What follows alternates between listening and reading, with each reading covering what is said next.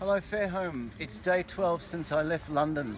I've cycled through France, Belgium, Germany, Luxembourg, back into France and today I'm in Switzerland.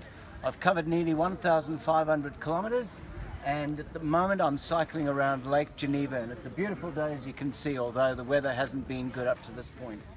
Um, tomorrow I head up into the, into the French Alps um, and that's when the challenge will really begin. I've got about a thousand k's to go. Please donate miles for Mizpah. Thanks everyone.